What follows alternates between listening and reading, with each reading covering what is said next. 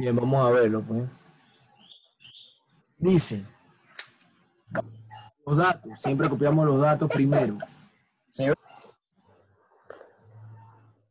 Tengo la canica A. Canica A dice que tiene la distancia, la distancia cero es igual a cero metros. Y su velocidad es igual a 2 metros por segundo. ¿Ok? La canica B, su distancia en cero es igual a 36 metros. ¿Por qué 36 metros? Porque acuérdense que ellos estaban separados a 36 metros. Tanto la distancia de A como B. Y la velocidad es la segunda velocidad que era 4 metros por segundo. Ya tengo mis datos. Ya tengo las primeras. Yo quiero calcular la distancia cuando se van a chocar. Voy a usar la primera fórmula que es x igual a x sub 0 más v por t. Yo no tengo el tiempo, no conozco el tiempo, pero yo voy a ver, hacer ecuaciones. Esta es la X para la canica A. Me va a dar la X sub 0 de la primera era 0, más la velocidad que es 2 metros por segundo, y no lo tengo, lo dejo expresado. X A va a ser igual a 2 metros por segundo. Esta es la primera ecuación, la dejo ahí. Voy a hacer la segunda. La segunda ecuación es con la canica B. Tengo que la canica B es igual, voy a usar la misma fórmula, y la X sub 0 de la canica B era 36. ¿Ok? Menos 4, que era la velocidad por el tiempo. Esta es la segunda ecuación. Ahora yo tengo que igualar las ecuaciones y despejar el tiempo. ¿Cómo lo igualo? XA es igual a XB. Voy a copiar que XA es 2 metros por segundo por el tiempo igual a 36 menos 4 por T. Bien. Voy a despejar el tiempo, que es este que está aquí. Y es lo que quiero.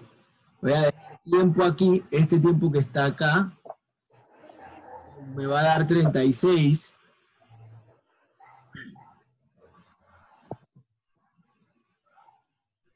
sobre, aquí voy a poner 2 metros por segundo más t, más 4 metros por segundo más t. Como los dos tienen tiempo, yo voy a sumar los 2 metros y los 4 metros. Me va a quedar 6 metros por segundo igual a 36. Bien. Tengo que seguir despejando. Parece que quiero el tiempo. Quiero el tiempo. Acá. Entonces, el tiempo va a ser igual a 36. Este está dividiendo, va a este está multiplicando, va a pasar dividiendo. Y así multiplicar y el tiempo me va a dar igual a 6 segundos. Ese es el tiempo. Ahora, ¿qué yo voy a hacer para encontrar el desplazamiento? Voy a aplicarlo en las fórmulas que tengo aquí, tanto en XA como en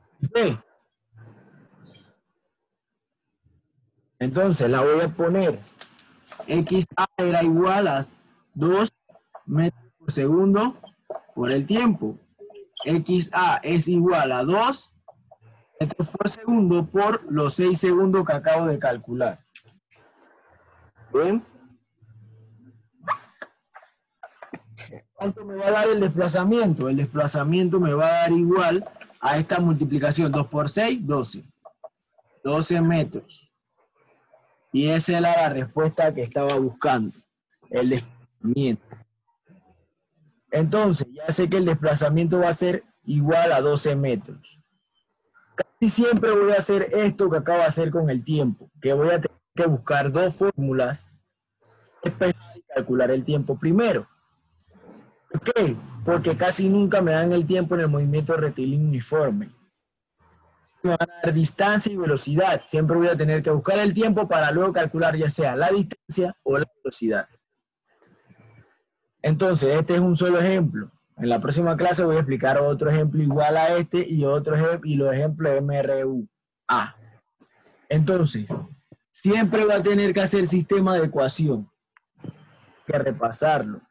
El sistema de ecuación lo que hice, despejé, puse todo en, ambas incógnitas, en X y X, luego la única que era el tiempo.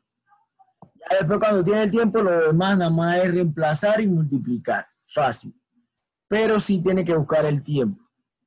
Se va a cerrar la llamada.